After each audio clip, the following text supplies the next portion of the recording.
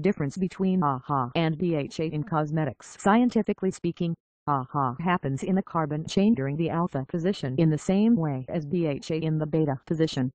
There are five types of AHAs tartaric, glycolic, lactic, malic, and citric acid while there is only one BHA that is mentioned above which is salicylic acid. For the damaged skin and for old aged skin, AHA products are the most suitable products to be used and salicylic acid is suitable for oily, acne, and pimple. Users should choose AHA products with concentration of 5 to 10% and BHA products with concentration level of 1 to 2%.